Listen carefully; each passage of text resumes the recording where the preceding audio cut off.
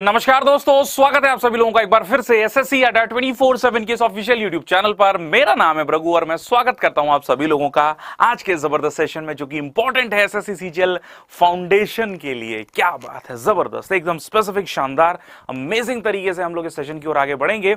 और मेरा विश्वास है कि अब अगर तैयारी के लिए आप लोग तैयार हैं तो ये मानकर चलिए तैयारी यहाँ से यहाँ होने वाली है ताबड़तोड़। सभी साथियों का स्वागत है इसके सेशन में, जो कि है एसएससी सीजीएल का।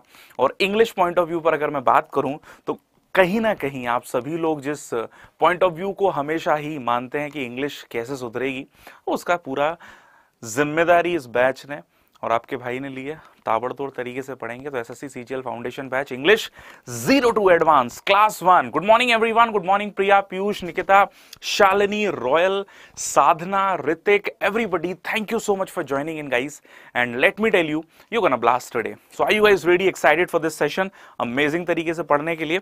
तो सेशन को स्टार्ट करेंगे आप सभी लोगों से गुजारिश है।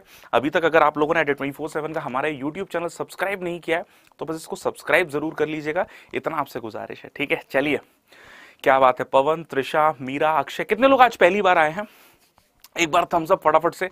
एनर्जी के साथ ताबड़तोड़ पढ़ाई करने वाले हैं हम लोग। और मैं आपको बताऊँ, सेशन के अंत में हम लोग एक दूसरे से बात भी करेंगे और देखेंगे कि सर कैसा रहा सेशन, ये बताना, ठीक है? तो ज़ीरो टू एडवांस लेवल जो है ना, आज आपको समझ में आएगा कि हाँ नाउन से सर क्वेश्चन बनते हैं तो ऐसे बनते हैं क्या? सर हमको ये तो पता ही नहीं था। मज़ा आने वाला है, ठीक है?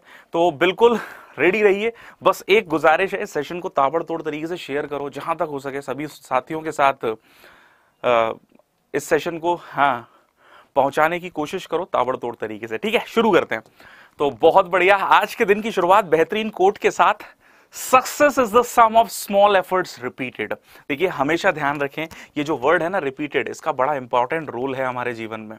क्यों इंपॉर्टेंट रोल है? मैं आपको बताऊँ, क्योंकि इस एफर्ट शब्द का मतलब क्या हो गया यहाँ? रिपीटेड वर्ड का मतलब हो गया यहाँ पर प्रैक्टिस बचपन में हमने कहीं सुना था प्रैक्टिस मेक्स यू परफेक्ट ऐसे ही थोड़ी ना था। प्रैक्टिस ही है जो आपको सफलता की उस शिखर तक पहुंचाएगी, जहाँ से आप जब सब चीज़ों को देखोगे तो you will find yes I have attend something लेकिन उस सफलता को भाई सिर पे नहीं रखना है। है ना? राधे राधे भी thank you so much everyone मैं जो लोग पहली बार आए तहे दिल से आपका स्वागत करता हूँ और मेरा उद्देश्य आपको इंग्लिश से वो पहलू से रूबरू कराना जो सफलता के उस मुकाम तक आपको लेके जाएँगे, जहाँ से लौट कर आओगे तो सिर्फ़ सक्सेस के साथ। रेडी एवरीवन तो प्रैक्टिस के लिए सभी लोग तैयार, ताबड़तोड़ तरीके से। नाउन क्लास वन देखो भैया ज़ीरो टू एडवांस आप लोगों के लिए रखा है आपके भाई ने, ठीक है? सो बस आइएगा इस रेडी ताबड़तोड़ तरीके से सभी लोग बस बता दो, सभी लोग तैयार हैं। एक बार ईश्वर का आह्वान करते हैं, शुरुआत करते हैं पेरेंट्स का नाम लेते हैं, ठीक है? क्योंकि उनके लिए कुछ करना है बस, यही उद्देश्य है है ना? बोलो वाक्य बिहारी लाल की जय and let's make our session amazing शानदार, ज़बरदस्त, है ना? चलो, बहुत ही बढ़िया। तो अब सारी चीज़ों को तैयार कर लेंगे। बस एक बार खींच के शेयर कर दो शुरू में, ठीक है? फिर सारी चीज़ों को हम लोग पढ़ लेंगे, ठीक है? बहुत बढ़िया। तो कल मैंने यहाँ से शुरुआत की थी, है ना? कल मैंने यहाँ से शुरुआत की थी एसएससी सीजीएल की जो इंग्लिश है, वो तीन पिलर्स पर आधारित है।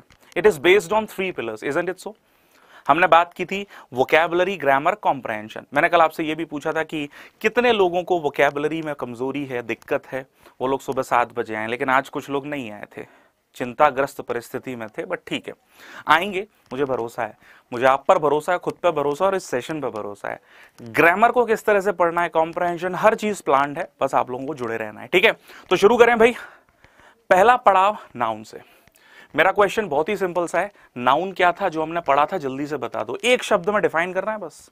क्योंकि कल बता चुका हूँ, अब नहीं, कल बेस की बात हो चुकी है, जो लोग पहली बार आए हैं, कल इंट्रोडक्शन की क्लास ज़रूर देख लीजिएगा एवरी बार तो एक बार मेरी बात ज़रूर माने और बताएँ नाउन का मतलब क्या था, जो लोग पहली बार है, फिर से बता दूँ। Noun is nothing but name किसी भी चीज़ का नाम, ठीक है? अब बताएँगे कितने टाइप्स होते हैं। फटाफट से देखते हैं कितने लोग ताबड़तोड़ सबसे पहले जवाब देते हैं। कमॉन गाइस क्या बात है। एसएससी का कोई एग्ज़ाम नहीं बचेगा, अगर आप इस क्लास को अटेंड कर रहे हो। मैं बोल रहा हूँ, बस इतना मान लो, ठीक है?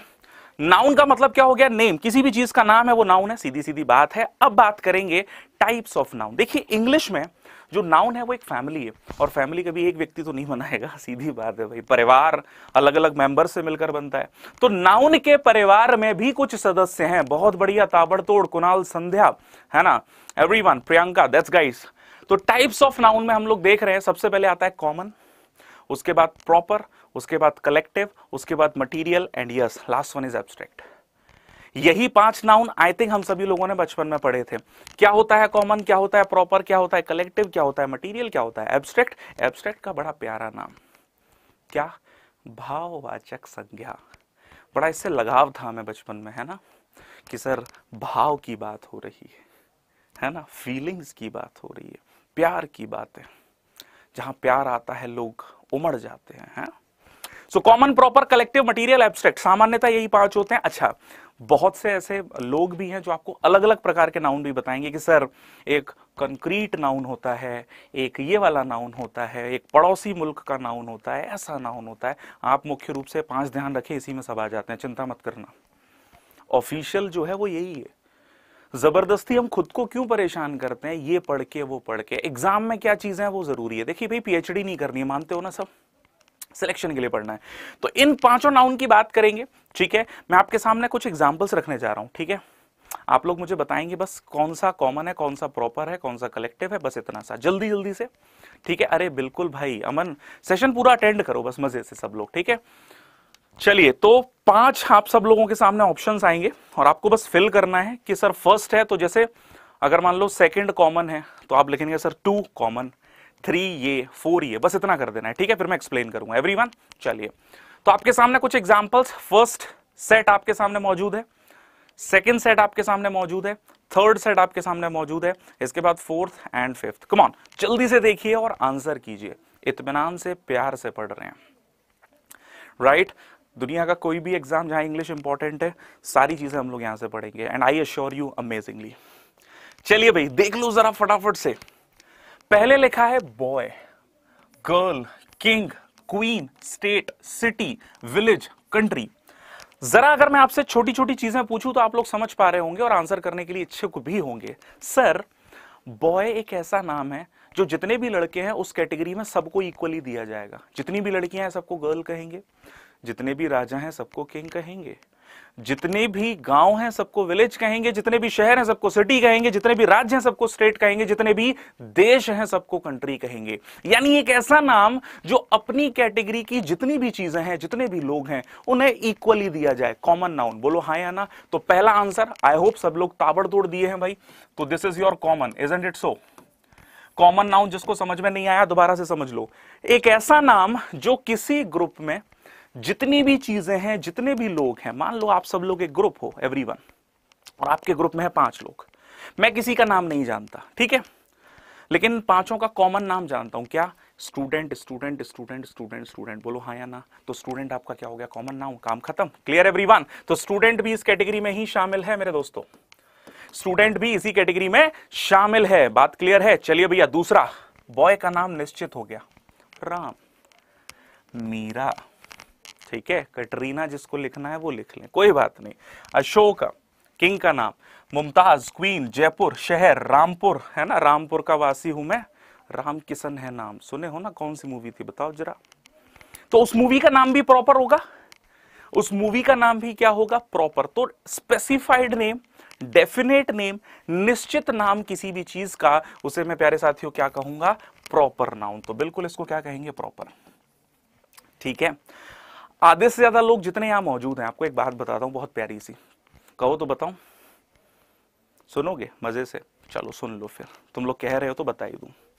हम में से बहुत सारे लोग कॉमन और इसमें बड़े कंफ्यूज होते हैं। अच्छा टीम जैसे मैं देख रहा हूँ, कुछ लोगों ने ज़बरदस्त तरीके से बता दिया, सर कलेक्टिव है कमेटी कलेक्टिव है फर्नीचर कलेक्टिव है स्टाफ कलेक्टिव है, समझ गया भाई। आपका भाई आपके मन की भावनाओं को समझ गया। लेकिन कॉमन और कलेक्टिव में क्या अंतर है? बहुत सारे लोगों का ये डाउट होता है। आइए इसको मैं समझाऊं और जरा ध्यान से सुनिएगा, ठीक है? एवरीबडी देखिए कॉमन का मतलब हुआ एक ऐसा नाम जो इक्वली उन सभी लोगों को सबको दिया जा रहा है। बॉय बॉय बॉय बॉय ठीक है? प्लेयर प्लेयर प्लेयर प्लेयर लेकिन क्या टीम टीम टीम बोला जा रहा है उस खिलाड़ी को नहीं? तो टीम आपका हुआ मैं कह सकता हूँ अगर कॉमन नाउन इकट्ठे होकर जो ग्रुप बनाएँगे उस ग्रुप का नाम होगा वो कलेक्टिव क्या कहते हो? कॉमन नाउन सामान्यता इकट्ठे होकर जो ग्रुप बनाएँगे उसको मेरे प्यारे साथियों क्या कहेंगे? कलेक्टिव देखिए आज जो डाउट्स है ना वो खत्म कर लेना। क्योंकि जो बेस आपको भाई बताएगा ना, यही मिलेगा। टीम कलेक्टिव नाउन क्यों हुआ? क्योंकि अलग अलग प्लेयर का एक ग्रुप बना, उस ग्रुप का नाम। तो ग्रुप का नाम है, वो कलेक्टिव है। प्लेयर कौन सा नाउन हुआ? प्लेयर कौन सा नाउन हुआ, प्यारे साथियों? कॉमन हाँ या ना? लेकिन अब जो मैं पूछने जा रहा हूँ, बहुत सारे लोग, बहुत सारे लोग कंफ्यूज होने वाले हैं, है ना? प्लेयर्स किसमें आएगा? अगर आपने इसका जवाब सही दिया तो ये मान लो सिलेक्शन कोई नहीं रोक रहा आप प्लेयर्स कॉमन है या कलेक्टिव मैंने देखा है बहुत सारे लोग जहाँ प्लूरल शब्द आता है कंफ्यूज हो जाते हैं। इसीलिए मुझे ये क्वेश्चन सूझा, और इसीलिए मैं आपको बता रहा हूँ। देखिए प्लेयर कॉमन है टीम कलेक्टिव है। क्या सर प्लेयर्स को कलेक्टिव रखें? कभी मत कीजिएगा। भाई, हमने प्लेयर का प्लेयर्स कर दिया तो रहा तो कॉमन बस वो क्या बन गया? प्लूरल कॉमन नाउन, आधे से ज़्यादा लोगों को ये हमेशा डाउट रहता है। और आई होप आप लोगों का डाउट क्लियर हो गया होगा। मेरी बात समझ में आ रही है? तो अगर प्लूरल नाउन है कॉमन तो उसको ज़बरदस्ती कलेक्टिव मत बना देना, क्योंकि कलेक्टिव ग्रुप का नाम होगा। कलेक्शन ग्रुप का नाम होगा। क्लियर है दोस्तों? बहुत अच्छे। तो आपको समझ में आ गया होगा ये कौन सा नाउन है मेरे प्यारे साथियों? बिल्कुल सही बात। इसको हम लोग कहेंगे कलेक्टिव नाउन।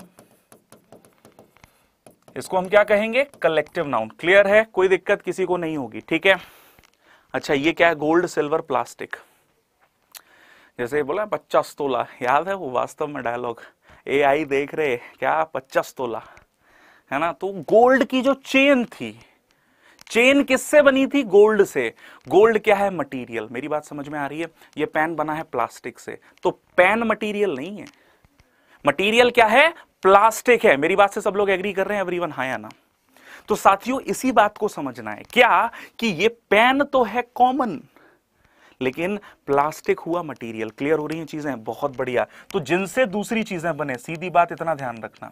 जिनसे दूसरी चीज़ें बने, वो कौन सा नाउन है? मटेरियल क्लियर है? चलिए भैया, भाववाचक संज्ञा। आ गई अंत में एब्स्ट्रैक्ट नाउन सीधी बात, जिन चीज़ों को फील करते हो, वो एब्स्ट्रैक्ट है, बात खत्म। ठीक है? सीधी बात, जिनसे क्या है? फीलिंग जुड़ी है। अब देखो, आप बोलो, सर एक्शन कौन सी फीलिंग है? मन में एक फीलिंग आती है। मैं यहाँ पर एक चीज़ क्लियर कर दूँ, हमेशा ध्यान रखना। देखिए, कुछ लोग मानते हैं कि नहीं, सर, जो फीलिंग है केवल वही एब्स्ट्रैक्ट है, नहीं। जो इनटेंजिबल है, जिसे हम टच नहीं कर सकते, महसूस करते हैं। अब महसूस इमोशन भी हो सकते हैं। ठीक है, यहाँ टी रह गया लाफ्टर है ये, ठीक है? टी मिस कर दिया मैं।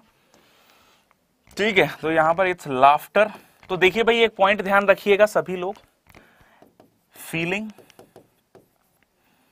एक्शन क्वालिटी या स्टेट अगर कोई भी नाउन इन चारों कैटेगरीज में कहीं भी आएगी, अगर कोई भी नाउन इन चारों कैटेगरी में कहीं भी आएगी, उसे क्या रखेंगे? एब्स्ट्रैक्ट बात क्लियर है, कोई दिक्कत किसी को नहीं होगी. खत्म बात. पहली क्लास में ये बात आप लोगों को अच्छे से समझना है। कॉमन कॉमन नाउन क्या हुआ? क्रिकेट खेले होगे यार। गली क्रिकेट के हम लोग बेताज बादशाह रहे, वहाँ कोई कितना बड़ा प्लेयर क्यों ना आ जाए? हमसे कहा जीतता था, याद है? तो गली क्रिकेट के अपने ही नियम थे अपने। क्या? कि भाई सात लोग इकट्ठे हुए या ग्यारह लोग इकट्ठे हुए, वहाँ ये नहीं था ग्यारह की एक टीम ही होगी। टोटल ग्यारह है, चलो पाँच पाँच की टीम बना लो। एक बच जाता था, उसे क्या बनाते थे? एक बच जाता था, उसे क्या बनाते थे दोस्तों? तो बिल्कुल उसकी अलग ही शर्तें कि भाई अपन कॉमन है, अपन ए टीम से भी बैटिंग करेगा बी टीम से भी। और दूसरा कि मैं भाई लेग में और ऑफ़ में फील्डिंग नहीं करूँगा कीपिंग करूँगा बस। याद आ रहा है? है ना? और एक ओवर फेंकना है, एक ओवर बॉलिंग और मतलब सब चीज़ अलग ही शर्त होती थी। तो कॉमन बनने के बड़े फ़ायदे थे। तो उसको कॉमन क्यों कहा? क्योंकि वो ए टीम में भी और बी टीम में भी। मेरी बात समझ में आ गई होगी सभी लोगों को। Right so that's an important part common मतलब इंडिविजुअल नाम स्पेसिफाइड नेम हो गया। ठीक है? यानी एक ऐसा नाम जो हर एक चीज़ को इक्वली दिया गया। और ये हो गया स्पेसिफाइड नेम ये ग्रुप का नाम, ये इसका नाम, भाव का, और ये हो गए। ये क्लियर है? आगे बढ़े, बहुत बढ़िया। क्या बात है, क्या बात है। सभी लोग क्लियर हो रही हैं चीज़ें? अमेजिंग शानदार, मज़ा आ रहा है, बहुत ही बढ़िया। आगे बढ़े तो पहले डाउट क्लियर है। तो अभी क्वेश्चन के आंसर भी तो करोगे? देखो, मैंने क्या बोला था? आपके लिए स्पेशली प्लान किया है। तो अब जैसे पढ़ोगे वैसे क्वेश्चन चलिए भैया, फटाफट से देखेंगे। So here comes the first question everybody in front of you there have been many efforts to secure the freedom of expression identify the noun freedom कौन सा नाउन है? जल्दी से जवाब दो। फ्रीडम कौन सा नाउन है? जल्दी से जवाब दो। लेट्स सी कितने लोग इसका सही जवाब देते हैं। बहुत ही बढ़िया। ग्रेट अमेजिंग शानदार। तो अगर देखें, क्या फ्रीडम प्रॉपर नाम है? क्या फ्रीडम कलेक्टिव नाम है? क्या फ्रीडम कॉमन नाम है? क्या फ्रीडम एब्स्ट्रैक्ट नाउन है? भाई, कौन सा मटेरियल है ये? तो ये तो गया। अच्छा आज़ादी कोई ऐसी वस्तु तो है नहीं जिसको दिखाओगे कि देखो, हम आज़ादी लेकर आए हैं। आज़ादी महसूस होती है। बोलो हाँ या ना? अगर एग्री करते हैं तो बिल्कुल आंसर क्या लगा दोगे? एब्स्ट्रैक्ट नाउन क्लियर एवरीवन तो जिस नाम को या जिस चीज़ को मैं महसूस कर रहा हूँ, सामान्यता वो मेरे लिए क्या है? एब्स्ट्रैक्ट नाउन चलिए भाई अगला question come on let's see advice कौन सा नाउन है? एक बार फिर से बताएँगे सभी लोग। अब सर, ये तो खतरनाक बात हो गई। अब सर, ये तो बड़ी खतरनाक बात हो गई। बताओ जरा। Common proper material abstract common proper material abstract फटाफट बताएँ। बहुत ही बढ़िया, शानदार दोस्तों। नाउन आपका मतलब आप भी देखना, मज़ा आने वाला है, मुझे भरोसा है। आप पर और खुद पर। बस सेशन को अंत तक अटेंड करो, इतना भरोसा दिला दो कि भाई के लिए बस तुम अंत तक हो। कॉमन अच्छा एक बात बताओ।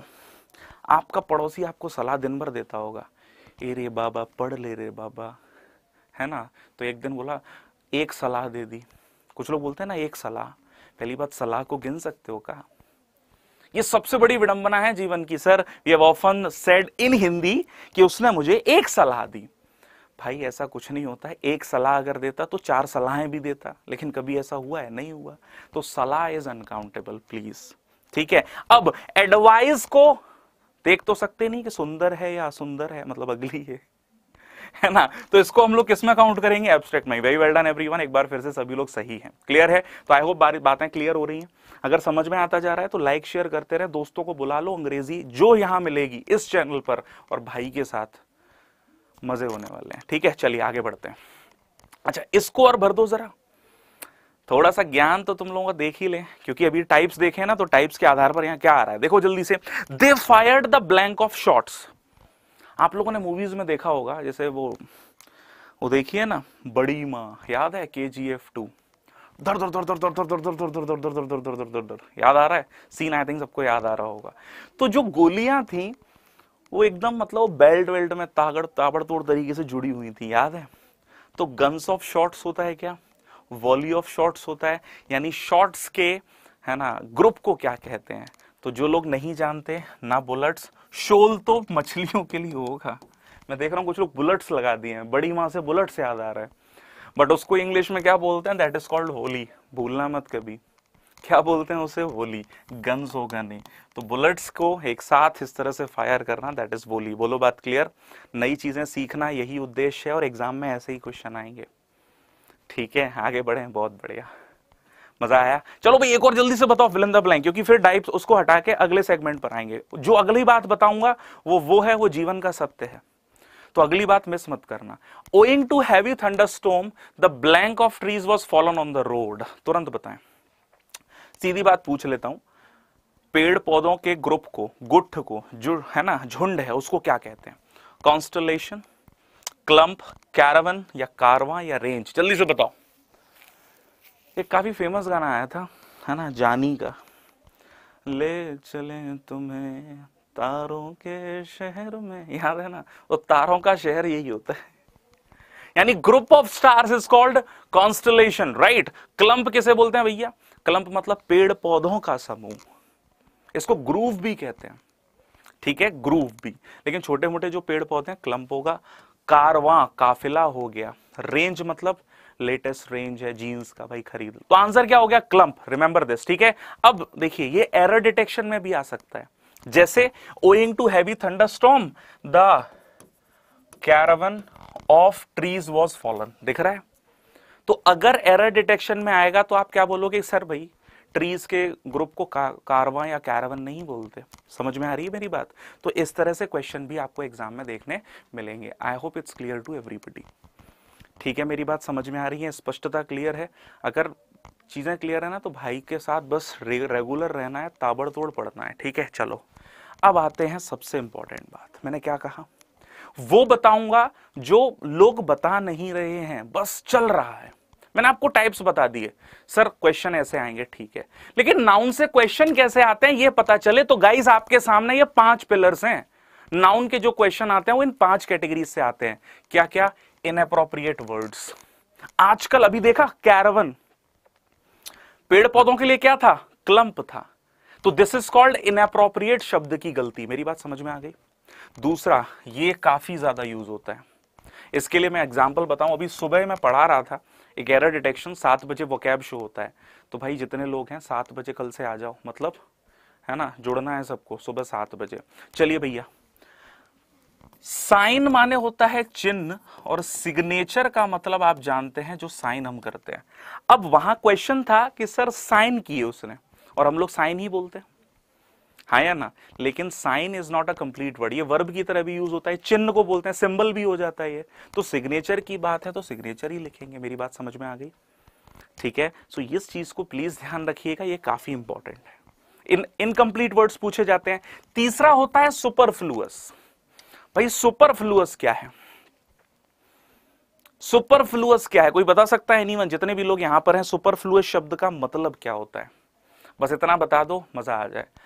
मैं इसका उदाहरण आपको समझाऊं तो मैंने एक मूवी देखी थी once upon a time in Mumbai आप लोगों ने भी देखी हो, ठीक है? Once upon a time in Mumbai में एक वो सीन था जब सुल्तान मिर्ज़ा कंगना रनौत से मिलने जाते हैं। She was very famous actor in that movie in that movie भी मूवी में भी। तो पहली बार मिलने जा रहे हैं तो भाई, बोलते हैं ना यार, खास इंसान जिसको पसंद पसंद करते हैं तो खाली आप थोड़ी ना जाना है तो उसके लिए गिफ्ट लेना है। तो गिफ्ट उस समय कुछ मिल नहीं रहा था, बगल में एक पेरू आ रहा था पेरू वाला समझते हैं? मतलब पेरू इट्स अ काइंड ऑफ़ फल, ठीक है? वो बेच रहा था, पूछा, भाई, कितने का है? उसने बोला, सर, पच्चीस पैसे का, बारह आने, कुछ ऐसा था। बोला, इतना सस्ता गिफ्ट थोड़ी ना लेके जाएँगे। तो वो बारह आने, यानी पच्चीस पैसे की कीमत को चार सौ रुपए तक ले गए। और फिर बोला, आ, अब आया मज़ा, ला भाई, चार सौ का दे। क्या पच्चीस पैसे की चीज़ को अगर आप चार सौ में खरीद रहे हो, उसकी प्राइस बढ़ गई क्या? तो आप बोलोगे, सर, खरीद तो सकते हैं ना खरीद तो सकते हैं लेकिन वो वेस्ट है ना। वो वेस्ट है। दैट्स कॉल्ड सुपरफ्लुअस कई बार इंग्लिश में एक शब्द कंप्लीट मीनिंग दे रहा है हम उसके साथ दूसरा शब्द भी लिख रहे हैं। सो so, वो क्या होता है सुपरफ्लुअस उससे रिलेटेड क्वेश्चन होंगे। नाउन एंड इट्स नंबर मतलब सिंगुलर प्लूरल से रिलेटेड और अपोस्ट्रॉफी ये पाँच चीज़ें हैं इस पर ध्यान देंगे ठीक है? बहुत ही बढ़िया बहुत बढ़िया। क्लियर है सभी लोगों को? चलिए तो अब आते हैं सबसे पहले इनअप्रोप्रिएट वर्ड्स पर। जो बताऊँगा ना, इतिहास गवाह है और आप लोग भी साक्षी रहोगे कि जो अंग्रेज़ी आप पढ़ के गए एग्ज़ाम के लिए थी। ठीक है? अभी सुपर फ्लूअस भी आएगा, तब एक्सप्लेन कर दूँगा टेंशन ना लो, पर ध्यान से सुनो, नैतिक कोई बात नहीं। ठीक है मेरे दोस्त? चलिए एवरीवन प्लीज़ फोकस करेंगे इन अप्रोप्रिएट वर्ड पूछता जाऊँगा और देखते जाना। है ना? नज़र हटी तो दुर्घटना घटी, शानदार चीज़ें हैं। जरा देखिए। अपैरल शब्द, कई बार हमने सुना होगा। अच्छा कपड़ों से रिलेटेड पहले बातें कर रहे हैं हम लोग, ठीक है? क्योंकि सामान्यतः कपड़ों का जमाना है भाई। अपैरल का मतलब क्या होता है? तो देखिए, मैं आपको बताता जाऊँगा, हिंदी आप लोगों के लिए भाई ने लिखी है। मतलब समझ रहे हो ना एफर्ट्स काफ़ी ज़्यादा दिए जा रहे हैं। तो आप लोग जरा ध्यान देना। अपैरल का मतलब होता है, होते कपड़े हैं, सामान्यतः इसको पोशाक बोलते हैं, दुकानदारों का शब्द है। यानी जनरली जो शॉपकीपर्स होते हैं, वो शब्द का यूज़ करते हैं। ठीक है?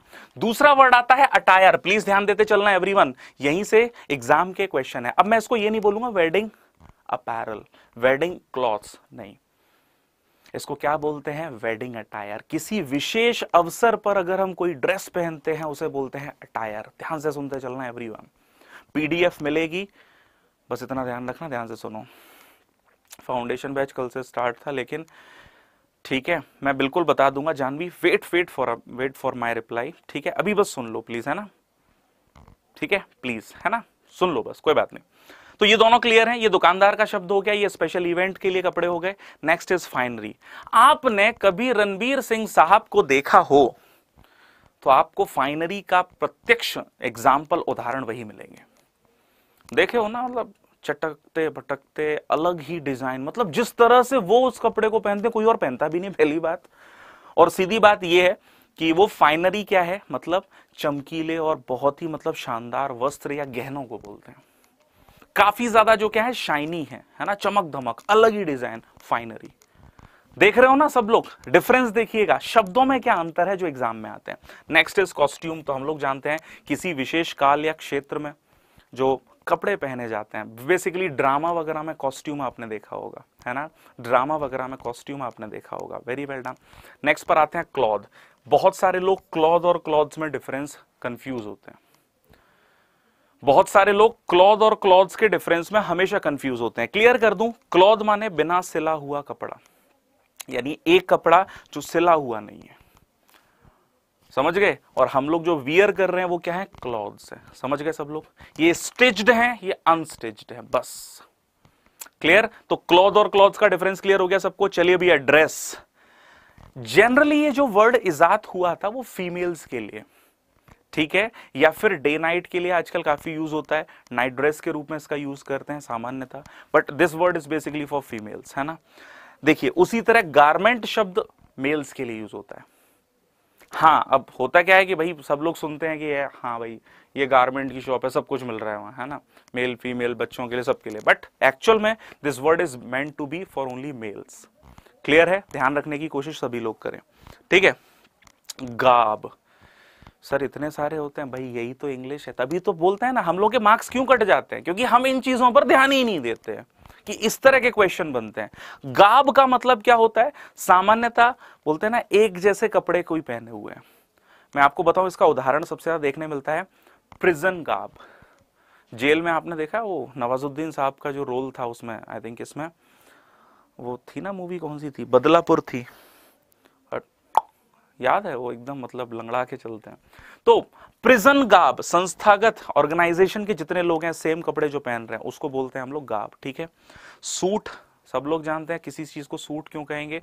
कोट, पैंट, है ना? या थ्री पीस है तो तीनों चीज़ें सिमिलर कपड़े से ही बने। So that is called suit, एक ही कपड़े से बने वस्त्र। आई थिंक इट्स क्लियर देख सकते हैं कितने सारे शब्द हैं कपड़ों के। बात समझ में आ रही है डेली क्लास चलेगी, लेकिन एक बार शेयर करके इसको वन थाउज़ेंड प्लस फटाफट पहुंचाओ। इतना आप लोग भाई के लिए कर सकते हैं, इतना मुझे उम्मीद है। ठीक है? डेली क्लास नौ बजे होगी that's what you need to do ठीक है? चलिए तो आई होप आपको कपड़ों के कितने सारे शब्द मिल गए होंगे। लाइक और शेयर एक बार। एक बार खींच के बस, थोड़ा सा, है ना? प्रेशर आप लोग देंगे तो डेफिनेटली तो apparel attire finery costume cloth clothes dress garment garb suit बहुत सारे लोगों ने ये शब्द सुने तो थे, लेकिन हाउ है ना? मिल गया। अच्छा लास्ट आता है यूनिफॉर्म स्कूल वगैरह के लिए सामान्यतः हम लोग यूनिफॉर्म शब्द का यूज़ करते हैं, सामान्यतः, है ना? ये भी क्या होते हैं? ये लगभग गाब की तरह ही होता है, ठीक है? लगभग गाब बट ये ऑफिशियल है है ना? ये थोड़ा सा नेगेटिव चीज़ों के लिए भी हम लोग यूज़ कर लेते हैं, ठीक है? किया एक डाउट क्रिएट हुआ, जब कंट्री के बीच में डील होती है तो साइन किया जाता है, क्योंकि वर्ब का यूज़ होता है। डील साइन हुई साइन हुई पूरा वर्ब सिग्नेचर नहीं। सिग्नेचर एक व्यक्ति विशेष करेगा। समझ गए ना मेरे भाई? हाँ that's what the point is चलिए भाई क्लियर है? तो ये इनअप्रोप्रिएट वर्ड्स पीडीएफ में मिलेंगे टेंशन ना लेना अदरवाइज़ टेलीग्राम ज़रूर ज्वाइन कर लेना सब लोग, ठीक है? चलिए। आगे आ जाओ, कुछ और वर्ड्स देख लो, फटाफट से इनअप्रोप्रिएट क्लाइंट मुवक्किल, सुना होगा वकील साहब क्लाइंट आ गया है। है ना? एकदम क्लाइंट से पैसा वसूल कर लो। मैंने वही बताया, पारोल अभी, है ना? गाब और यूनिफॉर्म में डिफरेंस वो नेगेटिव हो जाता है, सामान्यतः ये ऑफिशियल और फॉर्मल शब्द में यूनिफॉर्म का यूज़ करते हैं। नेक्स्ट कस्टमर ग्राहक, क्या बात है? अच्छा देखो, आप लोगों ने एक ब्रांड का नाम सुना होगा शॉपर स्टॉप है ना? तो शॉपर्स मतलब खरीदार सामान्यता जो मार्केट में होते हैं, ठीक है? सामान्यतः जो मार्केट में लोग घूम रहे हैं खरीदारी करने के लिए, उन्हें हम कहेंगे शॉपर्स बायर्स क्या होते हैं? देखो बायर और शॉपर में अंतर है। जैसे मैं मार्केट गया, कपड़े खरीदने आया, मैं शॉपर लेकिन मैं मार्केट गया, वही कोई प्रॉपर्टी दिख जाए, बढ़िया सी खरीद लेंगे आज ही। तो मतलब सामान्यतः महँगी चीज़ें खरीदने का जो व्यक्ति होता है, उसे बायर कहते हैं। ठीक है? नेक्स्ट पर आते हैं परचेजर परचेजर और बायर ऑलमोस्ट सेम है। They both are almost same ठीक है? क्लियर है? बहुत ही बढ़िया। एरर आ जाओ भैया, गलतियों के शब्द बड़े मज़ेदार आने वाले हैं। ठीक है? जरा गौर करना। एरर फॉल्ट लैप्स ब्लंडर एक और है क्या? वेनाइल नहीं है। ठीक है, कोई बात नहीं। अभी प्रैक्टिस में मज़ा आएगा। एरर माने क्या हो गई? त्रुटि। अक्सर आप देखते हो कि सर, हमारे एग्ज़ाम में तो एरर डिटेक्शन आते हैं। इसमें क्या तकनीकी बात हो गई? कुछ लोग अभी दिमाग लगाकर मुझे पूछ लेंगे। और बहुत बढ़िया। तो गाइस ध्यान दीजिएगा, हम एरर उस वर्ड को रिलेट करने के लिए यूज़ करते हैं, जहाँ बात किसकी होती है? टेक्निकल गलती है, या एक प्रोसेस के थ्रू गलती है। हम एरर डिटेक्शन सॉल्व करते हैं, एक प्रोसेस के थ्रू ही तो गलती होती है, बोलो हाँ या ना। तो इसीलिए उन्हें एरर डिटेक्शन कहते हैं। सामान्यतः एरर डिटेक्शन या कॉमन एरर्स एरर डिटेक्शन आप टेक्निकल यानी कंप्यूटर भाषा में किसी मशीन में कोई गलती है, उसे भी बोलते हैं। फॉल्ट अच्छा मशीन के लिए फॉल्ट होता है? नहीं। ये टेक्निकल गलती के लिए आएगा सामान्यतः। किसी मशीन में या कोई व्यक्ति ने कोई कलेश कर दिया, है ना? इट वॉज़ अ फॉल्ट उसने ये फॉल्ट निपटा दिया। है ना? उसकी वजह से फॉल्ट हुआ। ठीक है? लैप्स छोटी सी भूल। चूक जिसे बोलते हैं, है ना, हिंदी में। तो छोटी भूल, कोई भी छोटी भूल हो जाए, उसे बोलते हैं ब्लंडर। अभी जब सुपरफ्लुअस की बात मैं कर रहा था तो मैंने देखा कुछ लोगों ने लिखकर भेजा, सर, बिग ब्लंडर, है ना, बड़ी भूल। इस तरह की बातें हुई, है ना। तो हाँ बिल्कुल, सूरज एकदम स्टार्टिंग से, मेरे दोस्त, जीवन में इससे स्टार्टिंग क्या होगी? धक्का मार वाली बात हो रही है तुम लोगों को, सिखाने का उद्देश्य है। और जो लोग हैं, उनको समझ में आ रहा है। नोट्स की चिंता मत करो पीडीएफ दे देगा आपका भाई, है ना? टेलीग्राम भी ज्वाइन कर लेना। चलिए भाई, आगे बढ़े। तो ये गलतियों के शब्द देखो, ठीक है? ब्लंडर भयानक भूल लेप्स छोटी भूल फॉल्ट मशीनी शब्द है। सामान्यतः एरर एक प्रोसेस के थ्रू जो गलती हो, ठीक है? आगे बढ़े, बहुत बढ़िया। बिल्कुल लेप्स इन कॉन्सेंट्रेशन देखो जवाब गजब, अभिलाष, नैतिक ग्रेट आगे बढ़े। प्रैक्टिस क्वेश्चन आने वाला है आपके सामने, और आपको बताना है इसमें क्या गलती है। The dog saw it shed in the river फटाफट से बताइए। इस सेंटेंस में क्या गलती है? अब आई ना बात। अब आया ना मज़ा कमोन तुरंत जवाब दें। बहुत ही बढ़िया, शानदार, ज़बरदस्त। तो देखिएगा इस यहाँ मैं आपको समझाने जा रहा हूँ दो वर्ड्स ठीक है? ध्यान से देखिएगा एग्ज़ाम के लिए ज़रूरी है। एक होता है शेड एक होता है शेडो तो भैया रिवर में वो अपना प्रतिबिंब देखेगा या शेड देखेगा? बताओ जरा। मिल, गलती मिल गई होगी। देखिए, मैं बता रहा हूँ एग्ज़ाम में क्वेश्चन कैसे बनेंगे? एग्ज़ाम में क्वेश्चन कैसे बनेंगे? तो शेड आश्रय एक प्रकार का, यहाँ क्या होगा? Shadow so this is the question being asked in your examination like समझ गए सब लोग? बहुत अच्छे। अगले क्वेश्चन पर आते हैं। चलिए भाई। अ ग्रुप ऑफ़ गर्ल्स आओ भैया। बाऊ भैया, आओ भैया। A group of girls went to the class teacher जल्दी से बताएँ क्या गलती है? A group of girls went to the class teacher जल्दी से बताएँ क्या गलती है? बहुत ही बढ़िया दोस्तों, बहुत ही अच्छे, शानदार, एकदम ताबड़तोड़ तरीके से आप लोग जो चीज़ों में अनुभव लेकर आए हैं, वो बड़ा ही कमाल है। तो मैं देख पा रहा हूँ यहाँ पर बहुत सारे लोगों ने सही और सटीक आंसर कर दिया है। ठीक है? चलिए चलिए। तो देखिए भैया, लड़कियों के झुंड को ग्रुप नहीं कहते हैं, है ना? बहुत बढ़िया। लड़कियों के झुंड को ग्रुप नहीं कहते हैं, इसको क्या कहते हैं? दिस इज़ कॉल्ड वेवी ठीक है? सेकंड सेंटेंस क्लियर थर्ड देखो, इसका जवाब देने वाला व्यक्ति विजेता बनेगा, इतिहास रचेगा। Rahul presented a bunch of flowers to the chief guest come on everybody come on तुरंत बताएँ। बहुत ही कमाल का क्वेश्चन है एग्ज़ाम के लिए, सीधे।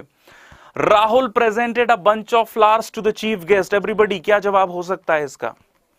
Rahul presented a bunch of flowers तो गाइस हम लोग बोलने में तो बोल सकते हैं। बंच लेकिन बंच होता है कीज का ग्रेप्स का।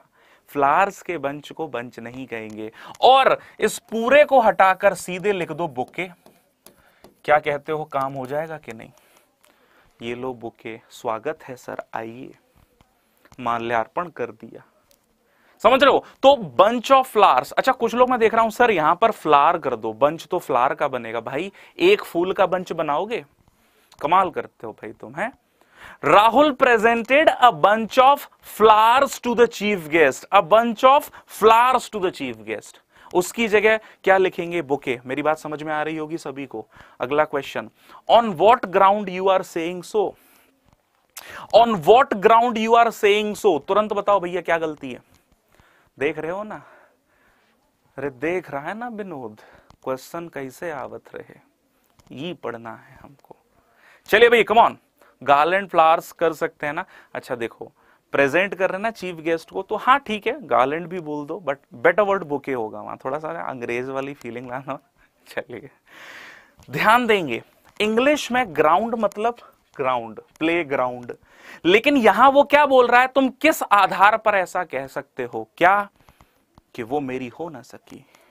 तो आधार के लिए हम लोग ग्राउंड नहीं, किसका यूज़ करते हैं? ग्राउंड्स का। I hope it's clear to everyone तो ग्राउंड्स मतलब आधार। तो यहाँ ग्राउंड्स आ जाएगा। बहुत अच्छे दोस्तों।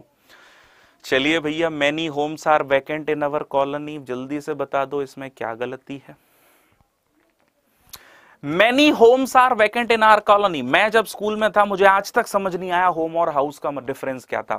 कभी पूछा भी नहीं और पूछा तो हमेशा लगभग ऐसा सुनाई देता था, खुद का है तो होम है, दूसरे का है तो हाउस है, हम भी रट लिए।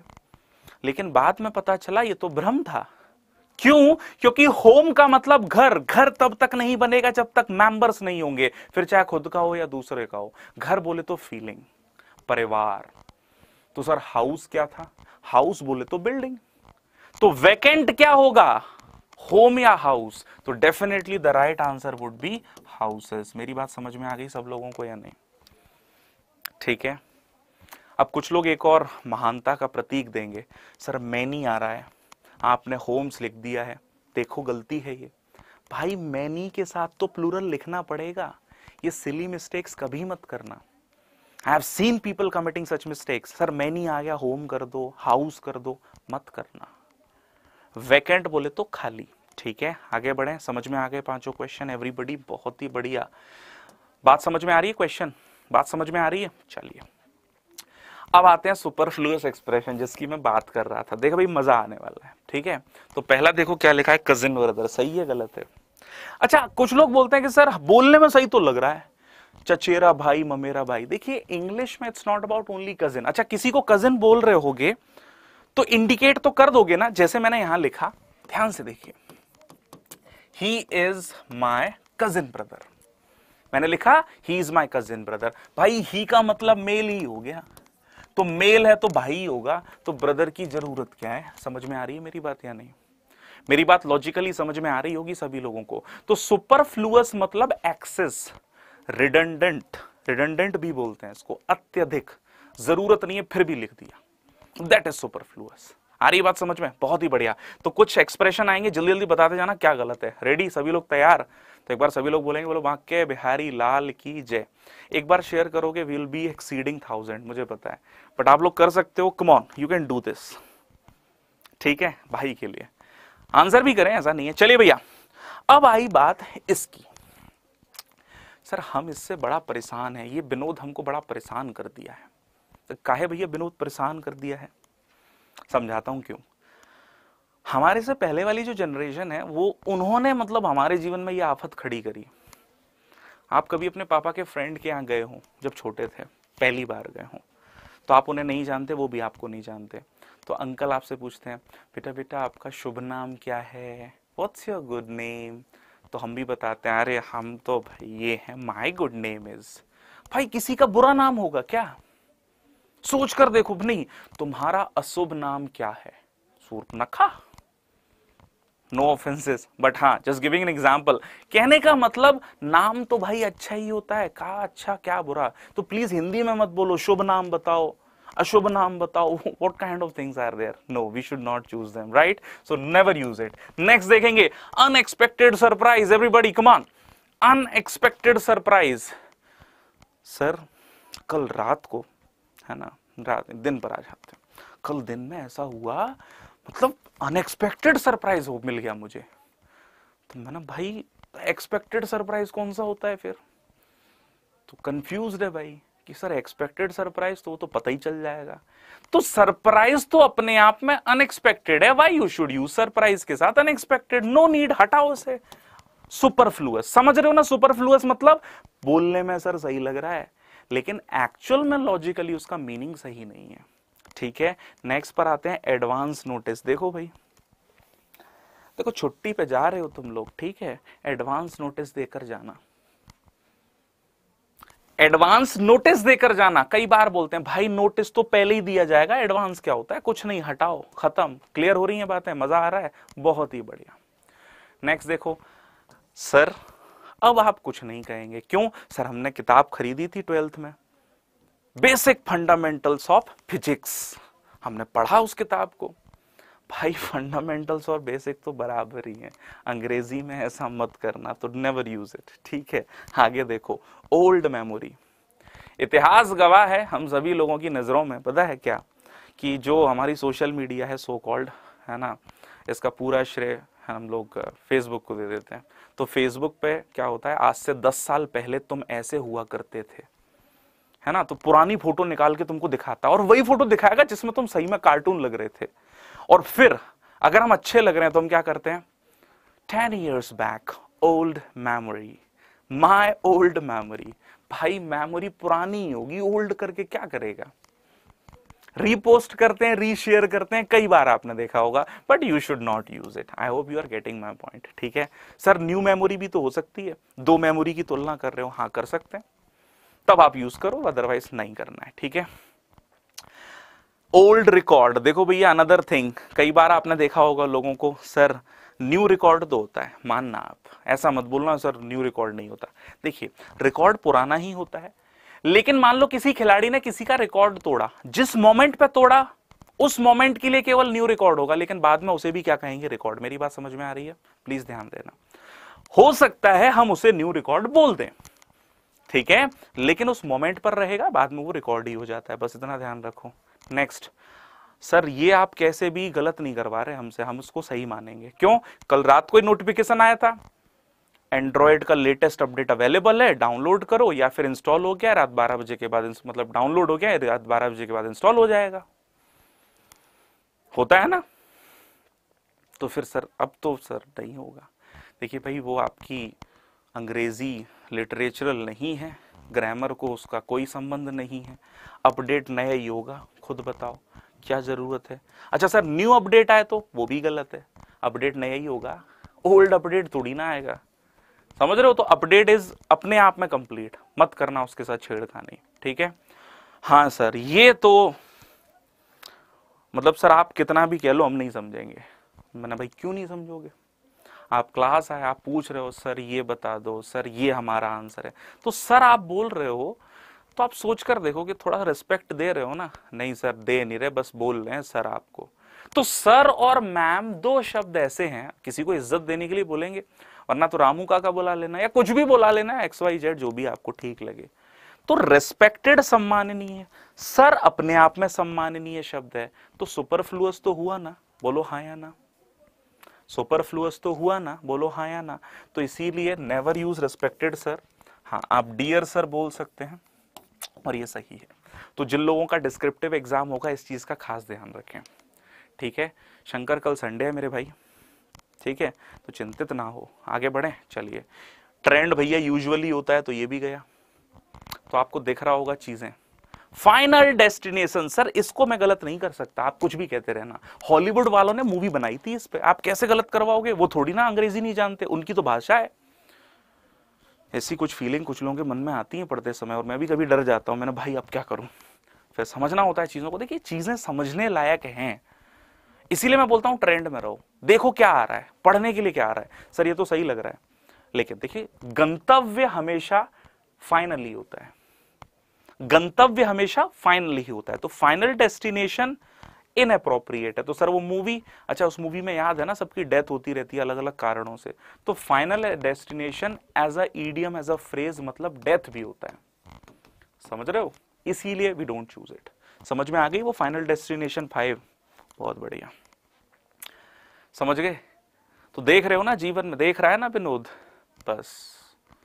तो आप क्वेश्चन देखें फटाफट से इसके कि क्या क्या गलती है। बोलो हाँ या ना? आओ भैया, आओ मोहन प्यारे, जरा अर्पित करो अपनी गलतियाँ यहाँ। Within an hour's journey we will approach near New Delhi जल्दी से बताएँ, क्या कोई गलती है? कमॉन गाइस मज़ा आ रहा है या नहीं? हाँ फ़र्स्ट क्लास ही चल रही है नाउन शुरू किया, कल सिर्फ़ इंट्रोडक्शन था, लेकिन इंट्रोडक्शन की क्लास ज़रूर देखना, ठीक है? कमॉन गाइस तुरंत बताओ। तो देखिए भाई, अब सर ये तो बड़ा डरावना सा लग रहा है। अप्रोच मतलब नज़दीक पहुँचना और नियर भैया भी आ रहे हैं। तो देख रहा है ना विनोद? दिख गया? तो अप्रोच और नियर एक साथ नहीं आएँगे। This is superfluous I hope it's clear guys ठीक है? बहुत अच्छे। तो near is superfluous within an hour's journey we will approach New Delhi समझ गए? तो क्वेश्चन देख रहे हो ना? सीजीएल लेवल आ रहा है मज़ा। ऐसा ही नहीं है, सिर्फ़ इतिहास गवाह है। भाई, वो पढ़ाया जाएगा जो सिलेक्शन के लिए ज़रूरी है। और ट्रस्ट दिस गाय मैं देखता हूँ, कुछ लोग बोलते हैं, सर बोर्ड से। देखिए कंटेंट पे भरोसा करोगे ना भाई के, बस वो ज़रूरी है। और ये भरोसा बनेगा कैसे? जो डिलीवरी मैं आपको कर रहा हूँ, है ना कंटेंट की, वो आपको सिलेक्शन तक लेकर जाएगी। तो ये मत सोचो सर बोर्ड है क्या है? कंटेंट पे भरोसा रखो हंड्रेड परसेंट ज़्यादा मतलब बोलते हैं चाहे भाई ऐसा हो कि मुझे सोना ना पड़े बट आपको कंटेंट दूँगा। बट डेली इसी तरह से जुड़ना है सिलेक्शन के लिए। चलिए भैया नेक्स्ट ही आस्ड देखिए भाई one of the favourable question है। मतलब प्रीवियस ईयर एग्ज़ाम्स में पूछा गया है। He asked supposing if he fails है ना if he fails had hate he would do what होना चाहिए? Jarvis what he would do that that's what है ना? हेट नहीं हो वॉट है? डब्ल्यू इज़ मिसिंग अच्छा जारवेस कौन है जो इसका नियंत्रण कर रहा है? ये जो, है ना? जो लोग पुराने हैं, थोड़ा जानते होंगे। चलिए भैया कमान तो सपोजिंग और इफ़ लगभग बराबर मतलब देते हैं, भैया, क्यों लिखना? समझ गए? तो एक बार फिर से सपोजिंग और if cannot be use together because यदि का अर्थ देते हैं तो ये सुपरफ्लूस हो गया। है ना? नेक्स्ट आ जाओ। The story should not exceed one of the important words of your one of the important question for your examination come on guys the story should not exceed more than two hundred words come on अरे लो answer ही दिख गया तुम लोग को। गजब, अल्लू, नेहा, बहुत अच्छे दोस्तों, बहुत अच्छे। The story should not exceed more than two hundred words अब जरा देखो एक्सीड का मतलब ज़्यादा। मोर का मतलब ज़्यादा। बहुत नाइंसाफी है है ना? बहुत नाइंसाफी है। कितने आदमी थे? सरकार एक्सीड और मोर। वो एक्सीड और मोर तुम सिर्फ़ एक्सीड है? समझ गए? तो एक्सीड आ रहा है तो है ना? Should not exceed 200 words more than की ज़रूरत नहीं है। एलिमिनेट कर देंगे। समझ में आ गई बात? Great this is really great next चलिए भैया this happen just exactly five years ago देख रहे हो? This happen just exactly five years ago फटाफट से बताओ क्या गलती है? कमॉन बहुत बढ़िया बहुत बढ़िया, मधुमिता। रंजन, पीयूष सुपर गाइस चलिए तो देखो, हम लोग जस्ट और एग्जैक्टली exactly देख रहे होंगे, एक साथ आ रहे हैं। क्यों लिखना? This happen exactly five years ago या जस्ट फाइव ईयर्स एगो दोनों में से जो लिखना है। चलिए नेक्स्ट पर आ जाए। Sameer was very friendly enough to help me when I was in distress अच्छा क्वेश्चन है। Sameer was very friendly enough गजब बेइज्जती है ये। गजब बेइज्जती है Sameer was very friendly enough क्या कहना चाहता है विनोद? तो समीर वॉज़ वेरी फ्रेंडली और इनफ तो भैया फ्रेंडली इनफ कर दो बस, काम हो जाएगा। वेरी हटा दो, या फिर इनफ हटा दो। Sameer was very friendly to help me अच्छा यहाँ ध्यान रखना, आप वेरी हटाना ज़्यादा अच्छा होगा।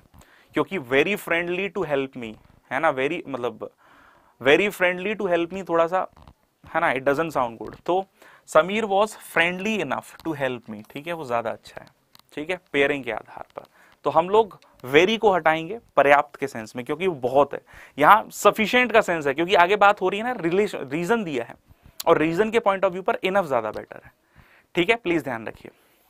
वेरी सुपरफ्लुअस चलिए भैया, ये बता दो जरा throughout the whole year देखना ये हम लोग बोलने में कितना यूज़ करते हैं। अच्छा आप देखना, हम लिखने में भी यूज़ कर रहे हैं, इसकी वजह से गलतियाँ हो रही हैं। Throughout the whole year there was not a single day without some violence बताओ जरा।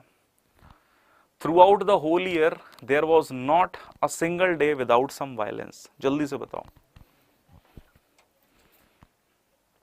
वेरी वेल डन तो देखो थ्रू आउट भी लिख रहे हो होल ईयर भी लिख रहे हो होल भी लिख रहे हो, गजब मतलब अंग्रेज़ी को खत्म कर रहे हैं। देख रहे हो ना काइंड ऑफ़ कोऑर्डिनेशन किस तरह से देखने मिल रहा है। बहुत अच्छे। तो ए में गलती है, या तो बोलो throughout the year whole की ज़रूरत नहीं है, दोनों में से एक लिख सकते हैं। या तो the whole year there was ये भी कर सकते हैं। या तो थ्रू आउट द ईयर बोलो द या द होल ईयर बोलो। क्लियर है भाई? बहुत अच्छा। है दोनों नहीं लिखेंगे। ठीक है ना? पवन, मोइन, कुंजन, है ना? टीना, जो लोग नए हैं, लग रहा है ना वर्दी? है ना कुछ सीखने लायक? हाँ भाई, ये पढ़ा सही रहा इंसान। ठीक है? तो आप बस ये मान लो कि दुनिया में सब भूल जाओ, रेगुलर रहना है। सिलेक्शन लेना है तो रेगुलर रहना है, बस। ठीक है? अब आते हैं जेंडर ऑफ़ नाउन पर। सुपरफ्लुअस के बाद जेंडर ऑफ़ नाउन की बात करें, ज़्यादा नहीं करेंगे, बस इसको देख लेते हैं, फिर एंड अप करेंगे, ठीक है? चलिए भाई तो ऐसा कम, देखो, जाओ मत, मैं क्या बोल रहा हूँ कंटेंट पूरा सुना करो। आप बोलो तो खत्म कर दूँगा, मुझे कोई दिक्कत नहीं because I don't want to miss anything but मैं चाहता हूँ, जो लोग अभी देख रहे हैं, बाद में देख रहे हैं, चीज़ों को ध्यान से देखें। What is gender of noun देखिए जेंडर शब्द जब भी हमारे जहन में आता है, सर मेल फीमेल और ट्रांसजेंडर हो गए तीन। देखा होगा आपने। बट एक्चुअल में लॉजिकली सोचकर देखिए, हम यहाँ जेंडर ह्यूमन बींग्स की बात कर रहे हैं क्या? या नाउन की? और भैया नाउन माने नेम था, आधे से ज़्यादा लोग अगर ये बात समझ जाए तो दुनिया ना बदल जाए। नाम कितनी कैटेगरी में रखा गया, उसकी बात हो रही है। समझ रहे हो? We are not talking about human beings कि वो तीन अलग कैटेगरी हैं। वो अपनी कैटेगरी है, वो ह्यूमन बींग्स की है। यहाँ नाम को कितनी कैटेगरी में रखा गया, उसकी बात हो रही है। मेरी बात आई थिंक सब लोगों तक पहुँच रही होगी। ठीक है? कितने होते हैं? सबने सुने हैं। एक बार बता दूँ, सबसे पहले मैस्कुलिन जेंडर सबसे पहला मैस्कुलिन जेंडर ठीक है? ठीक है? मैं बिल्कुल बताते जा रहा हूँ, मेरे दोस्त। है ना? हर चीज़ का अर्थ बताने का पूर्ण प्रयास है मेरे साथ। तो बस, ठीक है। मैस्कुलिन जेंडर जो ऐसा नाम जो मेल रिप्रेजेंटेशन करे, दूसरा फेमिनिन जेंडर जो फीमेल को रिप्रेजेंट करे, ठीक है। और तीसरा क्या हो गया? न्यूटर जेंडर अच्छा देखिए, एक ऐसा नाम न्यूटर जेंडर किस कैटेगरी की बात कर रहे हैं? देखिए, यहाँ हम ये बात नहीं कर रहे कि ये कैसे हो गया, वो कैसे हो गया। यहाँ सीधी सीधी बात है, वो जेन्युइन ये बात ये है, वो समझ लो। इसको हम लोग ही से रिप्रेजेंट करते हैं ही वाले प्रोनाउन से। इसको हम लोग शी वाले प्रोनाउन से रिप्रेजेंट करते हैं ऑफ़ कोर्स न्यूटर को इट से रिप्रेजेंट करते हैं। और जितनी भी नॉन लिविंग थिंग है सिंगुलर रूप में बेबी शब्द, ये वो, बाबू सोना बेबी वाला नहीं है। ये वो नवजा, वो शिशु है है ना, जिसके सेक्स का पता नहीं है। तो तब तक उसे हम लोग इट से ही डिनोट करेंगे। चाइल्ड हुआ कंट्री हुई इवन एनिमल्स को भी। इस कैटेगरी में ही हम काउंट ऑन करते हैं। आई होप मेरी बात आप लोगों को समझ में आ रही होगी। ठीक है? And that's I think pretty well to understand तो इसीलिए मैंने क्या कहा बेस अगर आपको समझ में आ जाए ना, फिर चीज़ों में दिक्कत नहीं है। ठीक है? दैट्स ग्रेट है ना? दैट्स ग्रेट तीसरे पर आते हैं मतलब चौथे पर। है ना? इसके बाद अगर मैं बात करूँ कॉमन जेंडर तो देखिए कॉमन जेंडर का मतलब क्या हुआ, है ना? समझने की कोशिश करना। इंग्लिश में कॉमन जेंडर किसको रिप्रेजेंट करता है? जैसे मैंने बोला, कुछ लोग बोलते हैं ना, बाबू सोना। अच्छा बाबू सोना अगर आम भाषा में बात करें तो उसे हम लोग कॉमन जेंडर ही कहेंगे, क्योंकि मेल को भी बोल सकते हैं फीमेल को भी, है कि नहीं?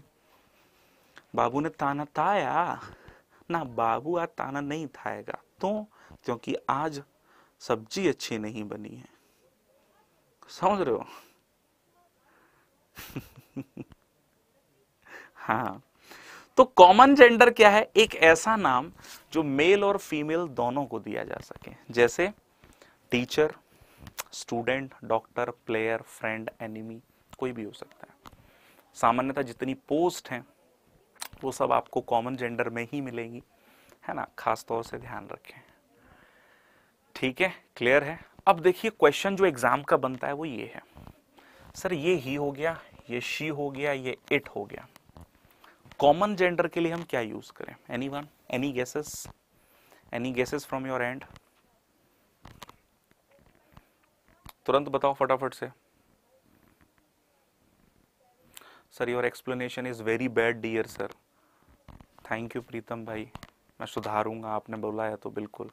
यस एनीवन कॉमन जेंडर के लिए कौन सा प्रोनाउन यूज़ करें? तो गाइस देखिए, समझिए, एक ऐसा नाम, देखिए, यहाँ प्रायोरिटी की बात होती है। अब ये प्रायोरिटी आई कैसे? ये भी जानना ज़रूरी है। देखिए, कुछ चीज़ें फिक्स नहीं होती, है ना? कुछ चीज़ें चलन पर चलती है। मैंने देखा है, कुछ लोग बोलते हैं कि, सर, ऐसा होता है, इसीलिए ऐसा होता है। ये भाषा है। और यहाँ प्राथमिकता चलन पर चलती है।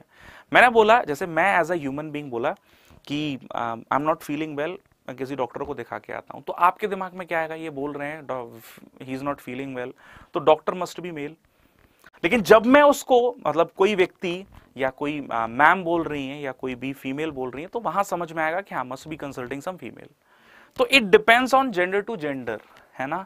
लेकिन बिल्कुल सही बात है, इंग्लिश में प्राथमिकता जो दी जाती है, जब तक स्पष्ट नहीं है, आप मैस्कुलिन यानी ही और अगर ही नहीं आ रहा है तो शी और शी नहीं आ रहा है तो इट कभी भी द और दे का यूज़ मत कीजिएगा। कभी भी द और दे का यूज़ मत कीजिएगा प्लीज़ मेरी बात समझ में आ रही है? तो जब तक प्रायोरिटी फिक्स नहीं है, हम मेल को प्रायोरिटी देंगे। अगर मेल वर्ड नहीं है तो शी को शी नहीं है तो इट दे कभी नहीं होगा बिकॉज़ इट सिंगुलर अगर सिंगुलर है तो। प्लूरल के लिए तो भैया दे ही आएगा। ठीक है? तो एक पॉइंट ध्यान रखना। Common genders are considered as masculine until the gender is clear ठीक है? Until the gender is clear and will be given priority using masculine pronouns सारी चीज़ आपके सामने है। बहुत बढ़िया। सारी चीज़ें आपके सामने हैं, बहुत ही बढ़िया। ठीक है? आगे बढ़े दैट्स ग्रेट एग्ज़ाम्पल देख लेंगे। अ स्टूडेंट शुड कंप्लीट है ना? A student should completely utilize his time तो स्टूडेंट के लिए वहाँ क्या आ गया? हिज आ गया। बात खत्म। ठीक है?